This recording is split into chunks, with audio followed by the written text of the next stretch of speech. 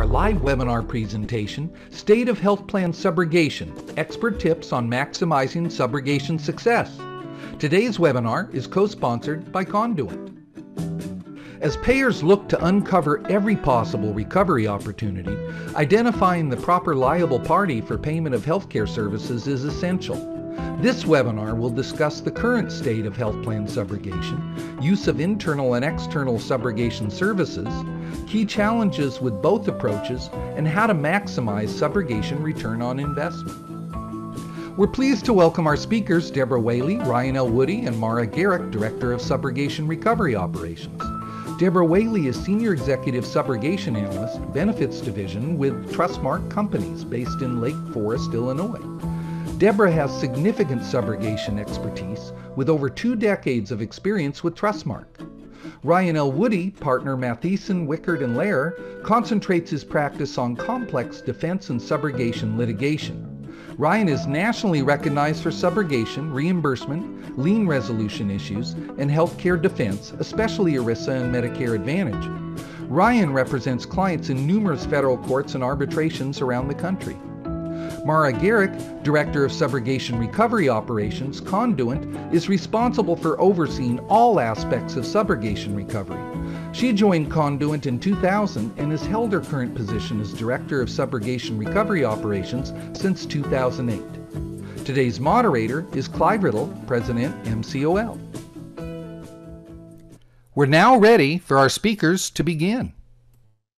Well, welcome everyone.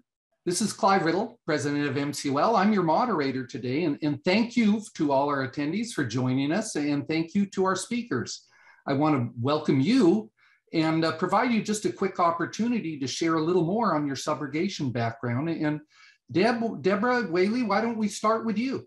Can you give our listeners a quick overview of, of Trustmark's subrogation program and, and your role? Great, thanks Clive and good afternoon everyone. Yes, um, as the introductory video um, mentioned, I have a little over two decades of subrogation experience.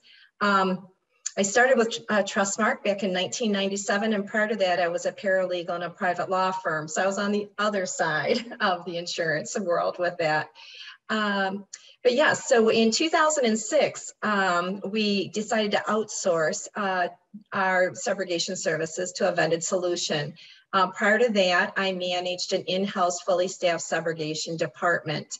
And um, what we decided to do was to outsource. We found that it was going to uh, yield a, a, better benefit from our services. And um, so what we did during that, prior to outsourcing, we had a pen and pursue program with our claim payment. And as I said here, we had a game changer. Once we outsourced, we went to a pay and chase and program and within our subrogation services, which yielded a much better result both for our vendor and for our clients, getting those liens out faster, as you all know. And what we really like to do as far as in our program, and this has evolved over the years, one thing what we've learned is knowledge truly is power. And so we've developed educational programs for our client relation teams, including our employee service representatives, as well as brokers and some of our larger clients as well, to give them a good foundational understanding of what subrogation is and the benefits of it. Um, my responsibilities within the unit is to oversee the activities of our vendor. Um, I do lead the internal and external programs that I just, just uh, described regarding education. And then also just to have a good um, accountability, we also have a vendor audit program where our staff does audit the activities of our vendor to make sure everything's looking appropriate. Um, I'm also the senior business liaison in our department. And so I'm the one, if things get escalated or I will be the face of uh, of the department so that if there's any issues or we have any client interface, I'm the point person for that. So I like to call myself a subrogation nerd because believe it or not, I love subrogation. Thanks, Clive. Thank you, Deborah. And uh, Maura Gericke, why don't we go to you next? We know uh, Conduent is a subrogation vendor, but uh, could you elaborate on the aspect of uh, Conduent's work that you oversee? Sure. Thanks, Clive. Good afternoon, everyone. Um, a little broader introduction for those of you unfamiliar with Conduent. We do provide technology solutions and business processes support to all of key, healthcare's key stakeholders, payers, providers, governments, and pharma and life sciences. And that includes a complete range of payment integrity services, including COB, credit balance services, pharmacy audit, and ultimately subrogation services. And Conduent subrogation services entered the subrogation industry over 34 years ago as Primax Recoveries. Some may be familiar with that name. Um, and the majority of our core operations management team are still around from the Primax days. So we definitely have some, some tenure in our management team. Uh, in my role, leading the subrogation operations, I'm responsible for monitoring productivity metrics and audit protocols, partnering with our client management team to ensure client satisfaction, and collaborating with our in-house legal support team on staff education. Well, thanks, Maura.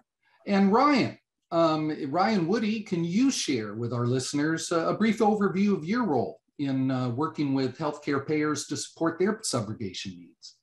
Sure. Um, thanks, Clive. Uh, yeah, so our firm is uh, well headquartered here in Wisconsin, where I am.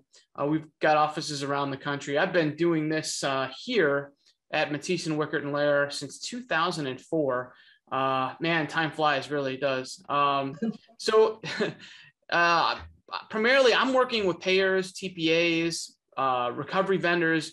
to support really their overall subrogation needs, and whether it's um, drafting plan language from the start or you know, litigating a, a, a high profile case uh, at the end of a file. Um, you know, given our really our, our, national reach with all our offices, we're able to and have handled really cases in, in just about every jurisdiction in the country. So, um, so whether it's you know filing a last minute lawsuit to stop disbursement of funds, or you know responding to um, uh, defending a lawsuit to uh, avoid a lien, you know we've really seen it all, and so we've kind of got that full breadth of of, of litigation experience. Thanks, Ryan. So now we're going to close our slides and just go for a little bit into a panel discussion. And uh, I'd like to uh, start really while we're talking to you, Ryan, with you. And I, I know Matthiesen, Wickert, and Lehre produce and maintain a, a, lot of information on health insurance subrogation across the country. So I'm hoping you can uh, start by summarizing some of the latest trends and challenging challenges that you're seeing in healthcare subrogation. And uh, in particular, you know, are there states that are troublesome? And, and again, what trends you, you see as really in the forefront? Sure. Um, well, if, just, just to begin, yeah, I'll, I'll, I'll, piggyback on your questions. We do uh, believe in education pretty strongly here, and we've got uh, a lot of resources that uh, those of you uh, listening in um, can uh, can can access for free off our website. We um, we publish a pretty dense book. I mean, uh, probably 600 plus pages on health insurance subrogation uh, in all 50 states uh, through Juris Publishing. So feel free to go on our website, check out the resources. Um, they're there for for everyone's free use. Um, as far as trends go, um, you know, I, I, think I'd have to kind of break those down between types of uh, plans or you know the, the book of business we're talking about. And uh, at least on the fully insured side i think that we're seeing um, you know uh, the landscape is is is increasingly more difficult. Um, you know we, we've got some additional recovery uh, obstacles. Uh, i'll give one example. Just uh, this past year uh, out in washington is um, they've really tightened up their made whole doctrine and the washington supreme court there in a case called Kuhn versus Group Health, basically put the uh, the burden squarely on uh, the insurer in all situations to prove made whole. Um, and they made it even more difficult for us to get the information that we needed to uh, to do a made whole analysis. So you know, uh, even though that just came out, we're we're already seeing the effects of of that type of a decision where you know, ensure the attorneys are just refusing to cooperate with us, give us the information we need. Um, and then when we do ask for these uh, these items, they're threatening, you know, bad faith lawsuits. So Washington was already bad, but I think it's be, it's it's even it's even worse now, and that's I, I think that's indicative of a lot of the trends that we're seeing on at least on the fully insured side is even um, pro subrogation states are, are, are introducing more uh, anti subrogation statutes, rules, and uh, stricter made whole uh, requirements. So on the on the self-funded side, I think I've got a little bit of a different opinion. I'm not really seeing a any sort of widespread new litigation trend or legal arguments. Uh, we're seeing a lot of a lot of the same, but uh, but I think the trends that I'm seeing are more maybe process based as the way they affect our our, our practices. Um, we're seeing uh, a, an increase, at least I am, on plaintiff sided lien resolution vendors coming in to the process of the file. And uh, I'm seeing that at an increased increased frequency and earlier on in, in the file uh, life cycle. And I think that um, their effect really has a, a, a, an impact on on the pro- productivity of, of your file because what they're they're trying to do is really wear you down, right? Um, and so they don't really have the law on their side, but they're coming in trying to slow down, bog down your processes, hassle the group for unnecessary documents, and really create as much chaos as they can. Um, one of the recommendations that I have for uh, clients is to make sure that you flag these cases and reassign them to your strongest people, um, or potentially, you know, outsource them um, either to, to recovery vendors or to uh, firms like mine so that you can you know focus your resources on on the cases that won't you know bog down bog you down. Um, the other recommendation that i have more from a litigation standpoint is that um, you know when it comes to lien resolution vendors precedent matters with them. They know what you did on the last case or the last uh, file for that group. They've got spreadsheets to, to tell them you know here's what you did last time so you, you can kind of flip that cycle and turn it on them. And really, to, in order to break that cycle, I find that you know filing a test lawsuit is really the best best way to kind of break them up. Because if you file suit on a case uh, to kind of you know as a test case, really. Uh, that breaks their model down. You know, the, the attorney who hired them is back in the picture, and the vendor may lose their their lien resolution fee. So showing them that you have the ability to litigate is uh, is really something that will have an effect um, not only on the file but going forward. So that that's kind of my uh, I guess my trend that I've identified um, on the on the self-funded side. Got it, Ryan. And again, uh, do you see any states being particularly troublesome in in in what you've talked about? Yeah, I mean, you know, I mean, I, I think everyone that's listening knows what the problem states are. Georgia's always a problem state and and that doesn't really. I mean, the law in Georgia hasn't changed. It's always been bad, but you know, they're a state where the um, at least from the attorney standpoint, there's not an ethical rule in Georgia that requires them to hold the funds in trust till they resolve the lien. Um, and so that that runs us into into some problems with um, just being unable to negotiate a resolution without potentially having to run into litigation.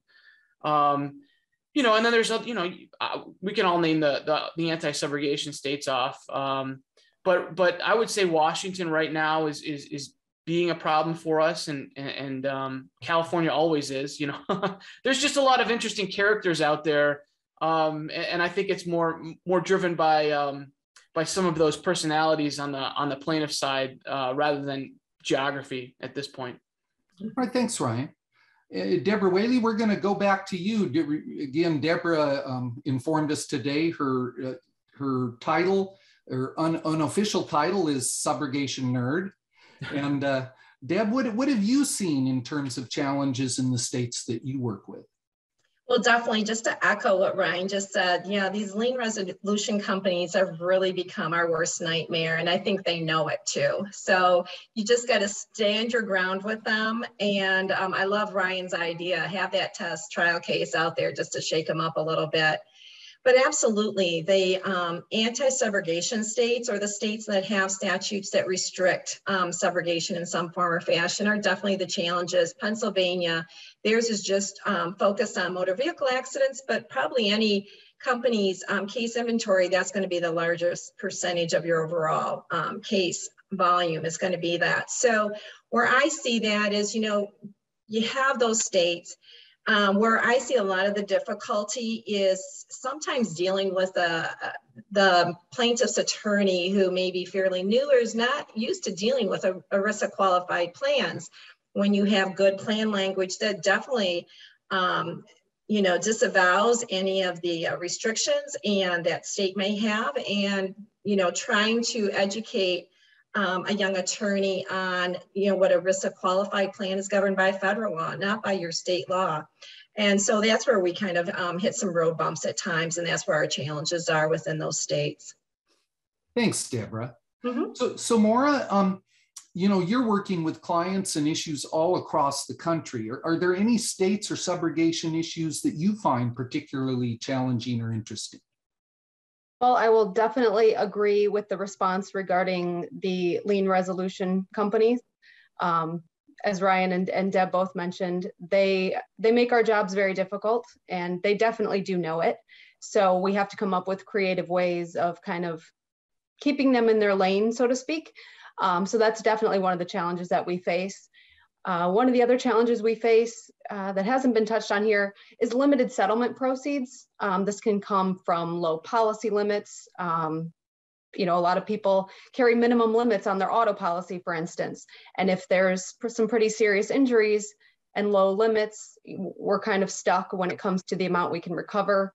It can also be caused by disputed liability or various other reasons. Um, you know, when we face situations of limited settlement proceeds, we have to do our negotiations to recover as much as possible, but it often puts us in a position where we have to go back to our clients and explain and educate them on the reasons why the potential recovery is less than they believe they're entitled to. Um, another challenge we, we deal with is non-responsive parties. So there are those attorneys out there that don't want to speak to us, don't want to respond to our letters, um, there's insurance adjusters who just don't respond. So that puts us in a tough position. And in some situations, we end up um, having to reach out to the member, which is always our last resort. Um, but when we are trying to protect our client's interest, we sometimes end up having to go that route to make sure that we're getting the responses that we need. Um, and then, as the others have mentioned, the anti-subro states, tough state laws and, and case law that, that limit our rights, again, that does, um, as, as Deb and Ryan both mentioned, kind of hinge on the kind of plan we're dealing with. So obviously, you know, with a self-funded ERISA plan, we're in much better negotiation position than we are with an insured plan or a non-ERISA plan. Um, but from our perspective, we have very detailed training created by our in-house legal support team so that our, our staff are armed with what they need to to handle those situations. Thanks, Maureen. I, I liked uh, your reference to keeping people in their lane. and also, uh, I hadn't really thought about uh, what you mentioned about, you know, being ghosted by, uh, you know. Yes, it definitely happens. Okay. So, Ryan, this has made me think about, you know, when we talk about litigation, what, what percent of, of subrogation claims warrant litigation? And, and whatever that number is, do you think it's going to change much in the coming few years?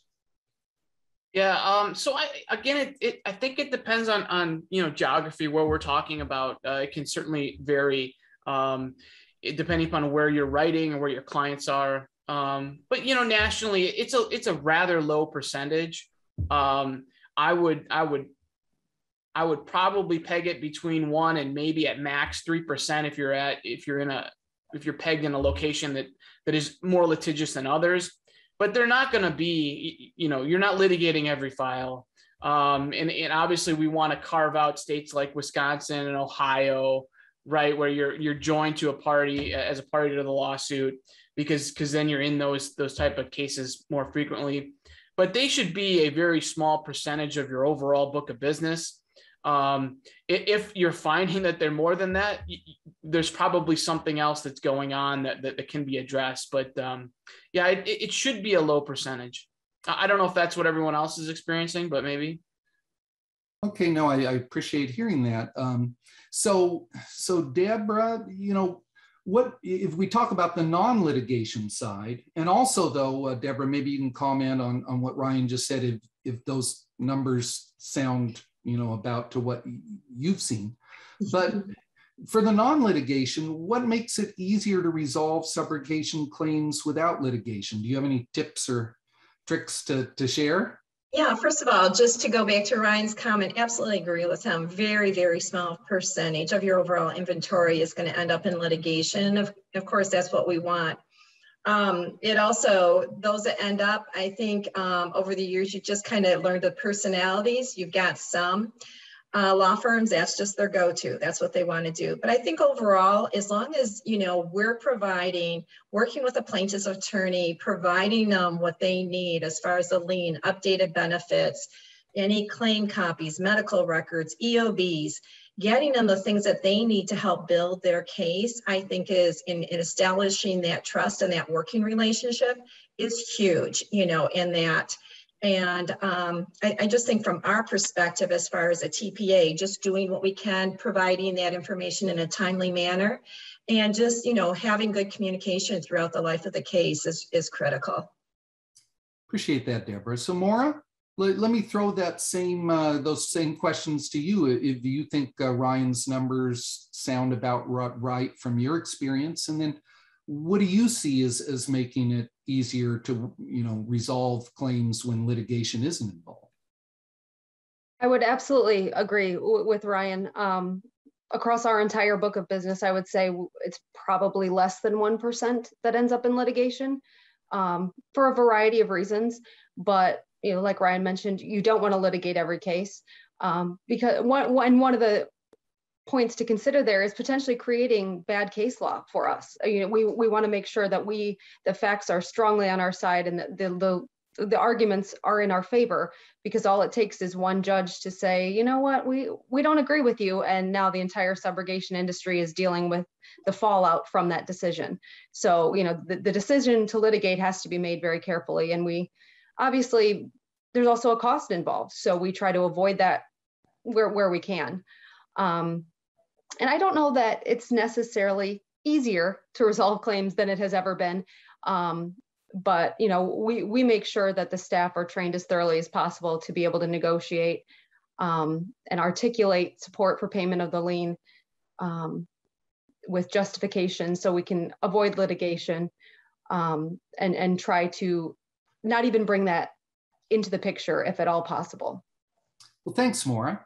So now we're going to bring up a slide again on the subrogation process. And uh, more as this comes up, um, I'm going to be asking you to comment on it. And, and could you take our audience through this process and highlight the, the successful elements of each phase as you go through the subrogation process? Sure. So the first key is effective and efficient case identification. It's done by utilizing data analytics, refining algorithms, so you're identifying claims with the highest probability of being related to a subrogatable event. Taking that important first step leads to a much more targeted and efficient investigation into the episodes of care and making sure that you are identifying all possible opportunities. Once you've completed identification, thorough investigation needs to be done to determine the involved parties, whether it be members, attorneys, liability carriers, anyone involved in the underlying claim, and validating that information and validating that it is a, a viable recovery opportunity. And then obviously the final key element is effective negotiation and recovery. So ultimately bringing the money in the door. Um, making sure the staff handling those cases has as much information as possible so they can successfully negotiate the highest possible recovery. And you know that includes understanding the legal environment, applicable state and federal laws, applicable case law, and, and, and utilizing um, legal resources to make sure that they're able to recover as much as possible. Okay. So now, um, after, and again, thanks, Maura, for that. Ryan, let, let's uh, look at it from your perspective. Um, what are the necessary components needed to support subrogation recovery, you know, with consideration of this process? So, you know, speaking from a litigation perspective, so we're at the end of that uh, that process there of that chart. You know, I can tell you what what I look for when I'm consulting with clients on potential new cases. Um, First, I'm looking for what I, I guess I would call as a gapless subrogation file. So I, I want to know, I'm trying to, to tell the client, you know, is this is this going to be a positive subrogation recovery if we take it to litigation? And, you know, in a, in a litigated case, the subrogation file is going to be scrutinized. and any missteps are going to be magnified. So I'm looking for any big gaps in the file or or, or potential uh, mistakes. Were, were the notices late? Did the claims handler change in the middle, and so we missed some communications? Um, did we, you know, fail to timely respond to requests for the lien or a final lien um, for documents? Um, you know, so we want to flag those problems before we file a lawsuit and before they become big big problems for us because if we if we can flag them early the, the maybe won't become problems or we can you know pivot to a different strategy um, and then the second thing that i'm i'm looking for maybe this is more of a uh, a practical uh, uh, uh, element, but I think it also uh, I've got some examples maybe that that might bring it to life. Is that we're looking for good communication, um, and you know different payers use different um, uh, structures and as to how that they're maybe they might be doing it in house, uh, they might be doing subrogation, you know through a, a subrogation vendor. Um, there, there, there's often several links in that chain, whether it's from the group to the TPA to the subrogation vendor. Um, and then there's probably a stop loss carrier out there who's got some uh, some input.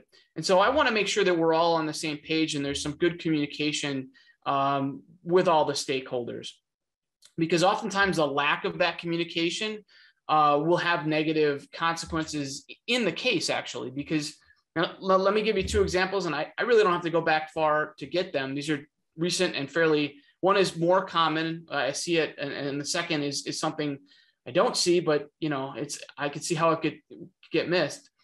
So we had a case recently where um, you know the the lien was being challenged uh, based on a state law that we didn't think applied, and so the the the TPA and the, and the subrogation vendor, you know, went back to the group and said, you know, they're not going to repay us. We need to get authority to litigate the case, um, and that that authority came, uh, and then we uh, ended up uh, actually in this case responding to a suit that was filed uh, against the, the, plan. But it came out later uh, because there was not good communication between all of the, the stakeholders that the employee had gone into the HR department, met with the CEO, and the CEO who didn't understand the difference between the plan's interest and stop loss interest and how that all uh, worked together um, ended up being recorded legally uh, and waiving subrogation of the plan's interest. So that's a unique situation, but it's it's it's that had there been proper communication, everyone would have known that this was a conversation that had happened in the past and that was likely relevant to what we were doing in the in the subrogation lawsuit. Mm-hmm. Um, and then the second, maybe more common uh, lack of communication is is where we have a lot of these divided functions and the uh, plaintiff's lawyer will send or the, the lien resolution vendor will send that letter that three or four page letter with uh, seven million document requests under the statute that they that they think that applies um, and and oftentimes the tpa or the vendor will say no that's not our obligation we've been told to refer all of those document requests back to the plan administrator um, and so then there's radio silence on the subrogation file. But you know, if you don't have communication with the plan administrator, you won't know that the, the attorney did follow up and he sent that request um, directly to the plan administrator, didn't copy you, didn't tell you about it. And the plan administrator didn't respond because they thought, well, we've that's what we've got our TPA for, right? And so, you know, you get set up with this situation where the request has been outstanding for a month or, or excuse me, for a year or, or two years and you're looking at potential you know penalties if you were to file suit. There might be a counterclaim. And so that's why i say that i'm looking for good communication between all of the the stakeholders because you know we don't know what's going to come in litigation. There's a lot of um, unknown unknowns appreciate that ryan and, and uh, i think it's a great takeaway talking about the communication so deborah um, you know from a payer perspective what do you think is the most challenging about pulling together these elements for your subrogation program? Well, the first thing I think is, you know, we've, we're representing our clients, our people that are out in the world running their own businesses, you know, day after day, and subrogation isn't something that's really on their radar. So when we, you know, when we need to reach out to them for something, um, that gets really challenging where they don't understand. And and I, going back to what I had mentioned earlier about education, um, really trying to push things out, even in their own company newsletters, information about subrogation, and so that their employees, the members, understand, you know, the obligation contractually they have once they receive payment on a benefit on a claim. Um, there then arises the responsibility for them to repay us um, repay their uh, employer. So um, working with that, but the main thing I think is knowing your client. We have such a diversity of clients and some of them have very rich employer plans. And so they may not want to be approaching things in um, too much in an aggressive way.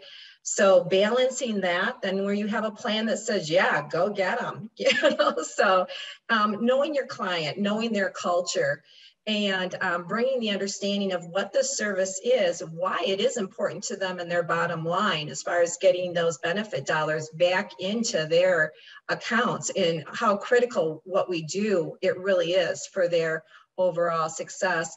And we want to set up our vendor for success as well with this program. So talking to the plans about having very strong plan language, as I mentioned earlier, that addresses some of the issues that um, the plaintiff's attorney may come at us for, you know, where we disavow the made whole, we disavow um, attorney fund doctrine. We, we go, we have that all in the plan document.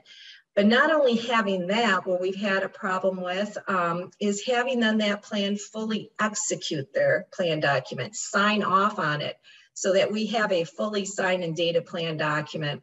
And so that's a program we work with very strongly is making sure we have everything that we need to set up um, our vendor for when they do take over a case for us. So I think that's the most important thing is just um, once again, getting them to understand why this is an important service and the elements of it and um, how important it is to their bottom line. Yeah, but that's helpful.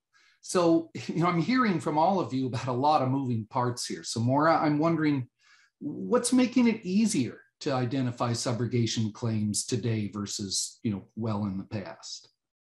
Well, I think at least at least for Conduent, um, what I touched on in the identification component, definitely data mining, data analytics, refining algorithms, um, identifying those key indicators and, using those to identify cases. You know, we're able to process data immediately upon receipt and, and get the cases identified, start the investigation process so it moves into the recovery workflow um, without delay you know so there is we're not waiting for self-reporting from members or attorneys to notify us that they're representing someone. We're proactively identifying those cases to get a jump on them early on. Thanks maura. So ryan is our counsel here. It's your job to uh, tell us the downside. Uh, what's slowing down subrogation recoveries? Sure yeah um, i wish it all ran so smoothly. Um, but you know honestly if i look back in time i think uh, we could take snapshots of when the supreme court decisions came out in our favor. Sereboff, mccutcheon. I think uh, plaintiffs lawyers were saying oh, how how terrible it would be. And i think a lot of our industry thought well this is going to be easy now. You know, we'll just send the letter out and they'll pay us. And uh, frankly even though we've got those good decisions and, and if we had to use them we can um, it's it's as difficult now to recover, you know, as it was then. Um, you know, the the plaintiff's bar is always going to find a way to try to reduce that lien.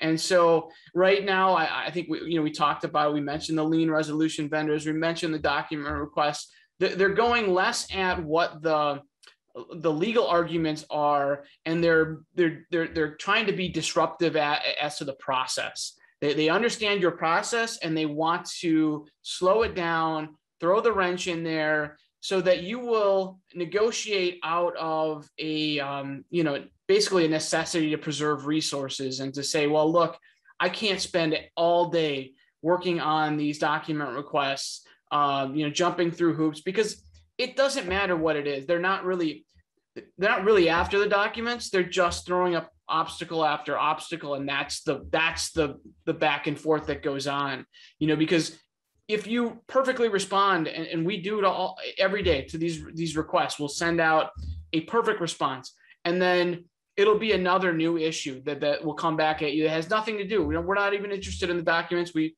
put them, we don't even look at them. We're going to throw out a different, you know, obstacle for you to, to, to go over. So I think that's, that's just been the, the necessary back and forth with this adversarial system that we're in.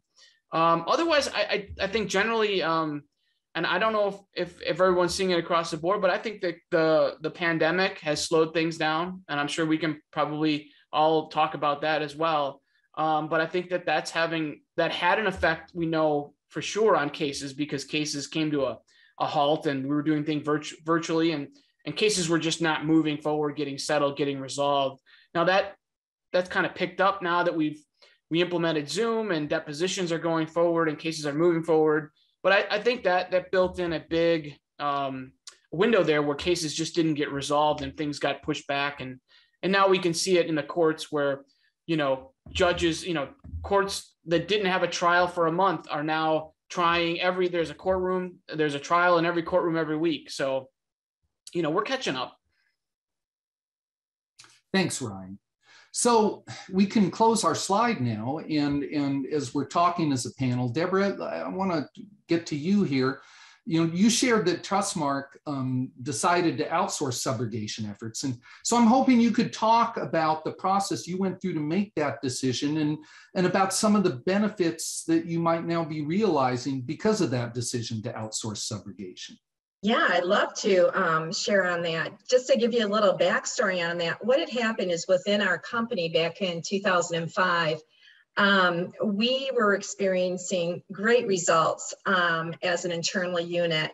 And probably part of that, a couple years prior to that, our um, fraud and abuse department had was also experiencing great results. And so our business development went through and we created a standalone business unit, which then went to the marketplace. So then going back to looking at the subrogation um, unit and their recovery results, our CEO at the time said, well, wait a minute, maybe there's an opportunity here as well with subrogation. Um, it didn't end up that way.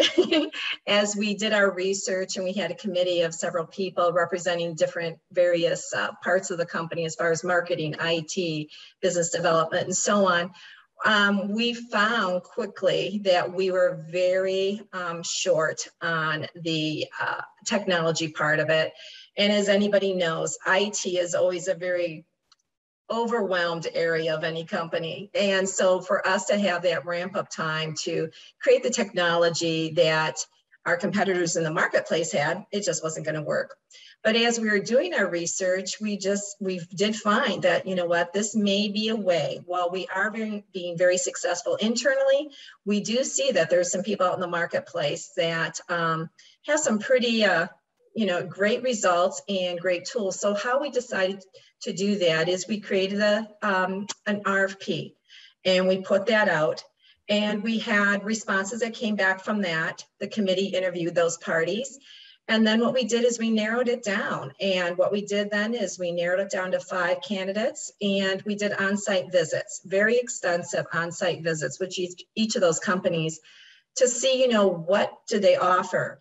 And then the representatives from IT and um, compliance and legal, and then myself with my own um, subrogation background experience, we all offered feedback. And then that's ultimately how the vendor was selected. So it was a pretty it was a pretty thorough and took several months process, but we we feel that, and we still feel that we did a great job at vetting our vendor. Thanks, thanks, Deborah. And again, time frame wise, you're saying it was a um, several month process. Yeah. Okay. All right, Maura, what are the benefits you see coming from health plans uh, when they discuss going to doing subrogation internal to doing it uh, outside with a vendor? Well, to definitely um, echo one of Deb's points, one of um, you know our, our main benefits is having the technology and the resources that a lot of internal units don't have don't have access to. It's often an investment that you know a company doesn't want want to make because it's not their their key line of business. Um, so so we have you know in terms of case identification, case monitoring, all of that, we have the technology and the resources um, available to us and continually improving that can really um, make the subrogation process run as smoothly as possible. We also have dedicated teams with, with subject matter expertise. So we have teams that investigate, we have teams that recover, we have our in-house legal support that's entirely dedicated to subrogation. Um, when it comes to an internal unit, they may not be just dedicated to subrogation. They may have multiple roles and responsibilities. Um, whereas a vendor, we provide the dedicated staff thoroughly trained and um, experts in their areas to, to make sure we're identifying and recovering everything we can. Thanks, Maura. So Ryan, what, what, what advice do you provide to your clients when they're considering what path to go down uh, for resolving subrogation claims? Yeah, so I think, uh, you know, um, one of the things I, that I want to, and Deb, you know, this is, goes back to something Deb said about understanding your group's culture. And I think that, so, so it's important that I have a conversation, you know, with the client on, on why we're litigating and, and what the, what the goal is, um, you know, what the motivation is. Um, so, we, so we have a conversation. Do, do are we doing it just for purely economic reasons? Um, you know, we've got uh, we're just so far apart on what the numbers are. The attorney's not making a reasonable offer, and so we really don't have a choice. We're kind of getting back into that that situation. Um, or are we doing it for the, you know, like the greater good? Is this a principal case? Are we are we trying to uh, make a point to a, a vendor or a lien re- resolution vendor or a particular law firm? Um, and that that's those are different cases. We're, we're, we're looking at things differently, um, and, and, the case will, will turn differently. Um, you know, I give you a couple examples that we've got uh, cases where we've had to take stands, or clients have had to take stands against uh, a particular law firm that had you know a dozen or more cases with their employees and all personal injury, you know, all these personal injury cases with plan members and they were making the same argument as to the plan funding in every one of them.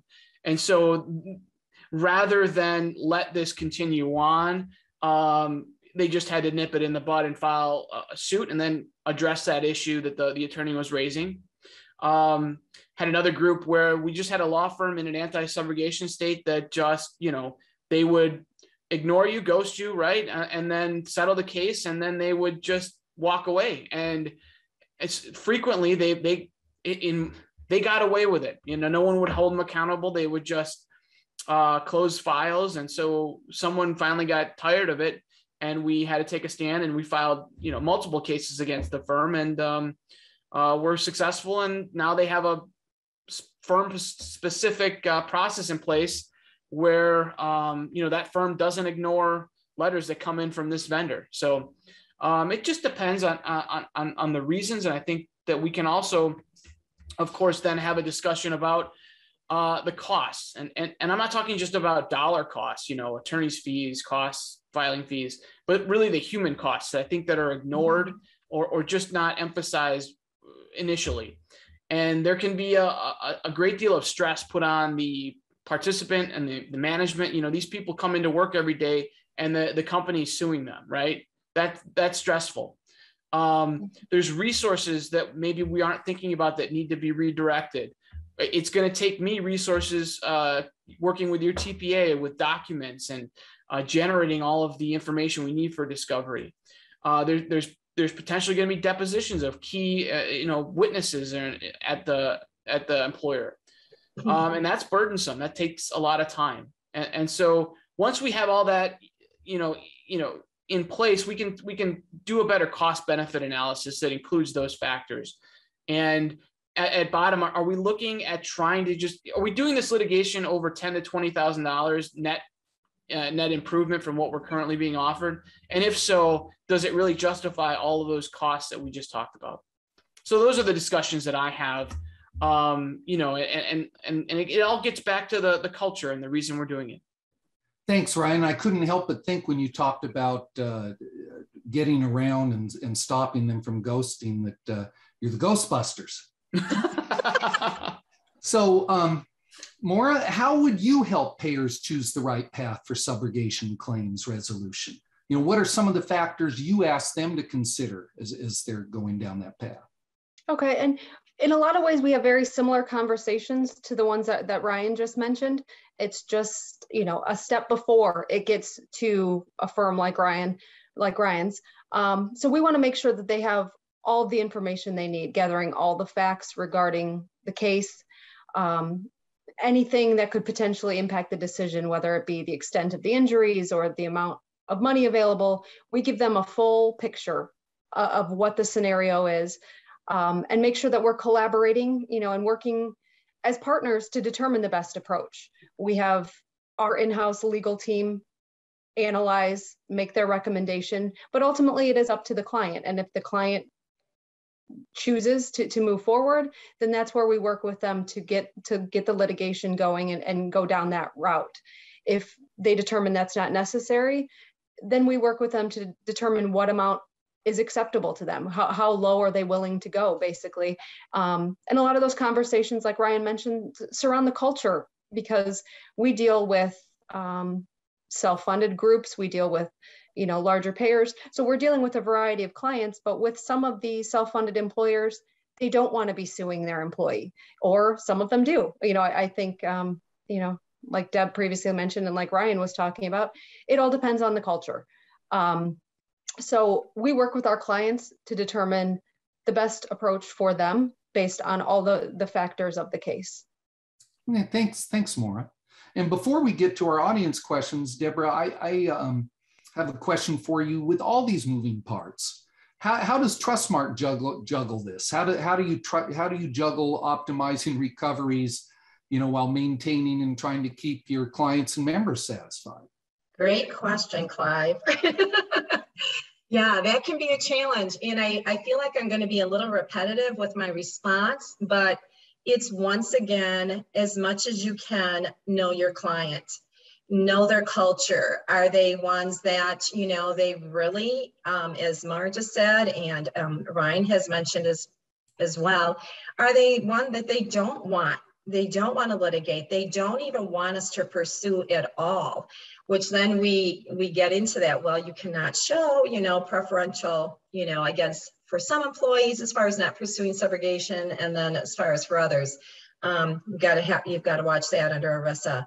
So it's just knowing your culture of the client but then i think in having that information as far as what their culture is and, and what their approach is to subrogation services once again another repeating theme throughout this is the education.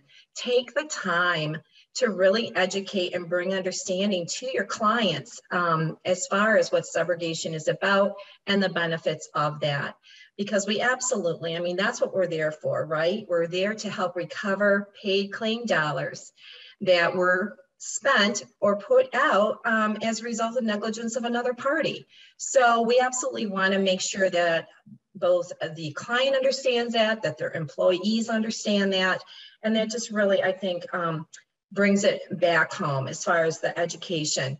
Um, and then the other thing as far as doing this is vendor flexibility. You know, I talk about culture, but if you've got a vendor, a subrogation vendor that you're using or a firm, and they're not being, they're not willing to be flexible with what your business needs or requirements might be based upon your clients, then it's probably not going to be a good partnership. So I think finding a vendor that is can be flexible and while doing their best to bring in recoveries at the same time listening to what you're saying about your clients is key. Thanks, Deborah. Mm-hmm. So um, I'm now going to jump in with uh, an audience question, and let me read this. Uh, as a self-funded Taft-Hartley, we've tried on a few cases of COVID-19 hospitalizations submitted as workers' comp for a few contributing employers. But every employer and their workers' comp carrier has found it easy to contend the employee actually contracted COVID 19 outside of the workplace and to push those claims back to us. Any thoughts on how to deal with this? So, uh, first, um, if we could, uh, Ryan, do you have any thoughts on that? Sure. And obviously, that's a a fairly common uh, you know uh, issue now or has been in the past uh, you know 18 months or so um, and what you want to look at is is when uh, is the date of, of the uh, the diagnosis and the treatments um, because most states have or had at some point a, a statute that made a statutory presumption that the uh, COVID diagnosis was as a result of, um, you know, uh, being at work. Uh, so it was occupationally related. Um, so if you've got that presumption and it's during that period, um, and obviously um, you can show that the person was not on disability, they were working during that period, then, then that presumption will, will work in your favor. If you're outside of that presumption period, you know, then you're going to have to, uh, you would have to potentially litigate that case and prove uh, beyond beyond a preponderance of evidence, you know, that the um, that the that the COVID diagnosis was more likely related to the to the work or more contracted at work than it was contracted off of work. Um, and that's more difficult, but you know, depending upon you know dates and timelines and diagnoses and and um, uh, whatever the um, you know the the time the incubation period is, you, you might be able to do it. It's just not it's not a slam dunk. You know, you you, you want to look for those again those dates that fall within the statutory presumption period of the state you're in. Ryan, have you heard this being discussed much? You know, with with those you're working with. Um, so I've, I've had, you know, just a few calls from clients with, with this issue about what to do because, uh, you know, they, they believe it's work related and we've had a few that fell within and a few that fell without. Um, and um, I only heard back on the ones where the, they fell without uh, outside that that statutory presumption period, and you know the, the the prospect of litigating the issue was not was less than ideal um, and complicated by the states we were in. You know, being being able to whether you could bring a direct claim against a work comp carrier and all sorts of things, but um, yeah, it's it's it's out there. Um, I, I don't know how widely it's been been talked about. I don't see any um, national resources on it other than um, you know publications on these uh, statutory presumptions. Okay, Deborah, I'm curious, you know, from your perspective, and also as our resident subrogation nerd, um, do you have uh, thoughts on this? You know, we really have not seen that. Um, it's not come up. I'm surprised that it hasn't. Um, but we're, we're not seeing that. Okay. All right. But uh, Deb, while I've got you here, I, am wondering if you might uh, talk to us a little about uh, if you have words of, of, advice for health plans evaluating their subrogation processes, just going back to the processes. Yeah, I think the most important thing is always stay current. Um, know what's out there, any changing, anything changing on the the horizon um, coming on, that's where people like Ryan are really helpful, um, kind of have their finger on the pulse of, of states and what they might be um, looking at. And, um, but to know, to stay current, um, always have your, you know, make sure your plan language. I mean, I think that's key for any subrogation case is going to be your plan language, having that reviewed, making sure it's still nice and tight you want to set your um, your vendors and your attorneys up for success and the best way to do that the best tool that they're going to have in their pocket is going to be the plan language. And i think just you know keep an eye on um, your business partners. You know like i said we have an in-house audit program of our vendors and because we want to make sure you know what is the case at random um, cases? What's the activity looking like? Are they following up? If an attorney has asked for a document can we see in the case notes that that's been provided? And, you know, what's the turnaround time when you're requesting information from them? Um, if the attorney is asking for something, you know, are they getting that that turned around in, a timely manner and, and, providing everything that's needed. So I think, you know, just having somebody that can kind of work with and I, and um, I know we do that with Conduent. They appreciate it. They're, they're aware of it. We provide feedback and I think it's, it's created a, a strong relationship between our companies as a result. So I think those are the key things. And, and just because something's been working well, um, don't just sit there. Continue, you know, every once in a while, take a step back and, and, look at your program, look at your processes. Do they still make sense? Or is there a better way now with technology or other things that are going on that may uh, a little tweak would be helpful? Thanks, Deborah. Yeah. And, and so, you know, with this, we're going to wrap up now. And, and so I want to thank so much Deborah Whaley, Maura uh, Gericke, and Ryan Woody for a whole lot of expertise you've uh, shared. Um, Believe me, I, I learned a lot. So thank you again to our speakers. Thank you again to the audience. And this concludes our webinar session.